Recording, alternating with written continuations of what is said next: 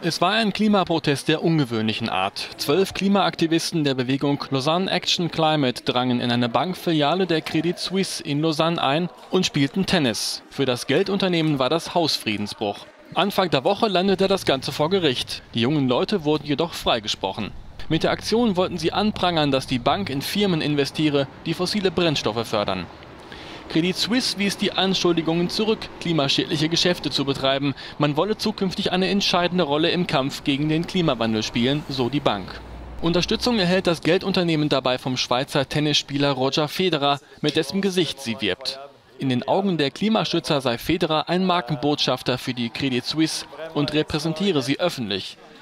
Der Weltranglisten-Dritte verteidigte sich. In einer Pressemitteilung erklärte er, dass er die Bedrohung durch den Klimawandel sehr ernst nehme. Er habe großen Respekt und Bewunderung für die Jugendklimabewegung. Zuvor wurde er auch von der Aktivistin Greta Thunberg für seine Verbindung mit der Credit Suisse kritisiert. Die Schwedin nahm am Freitag in Lausanne mit mehreren tausend Menschen an einer großen Klimademonstration teil. Vor einem Jahr wurde die Schweizer Bewegung climatestrike.ch ins Leben gerufen.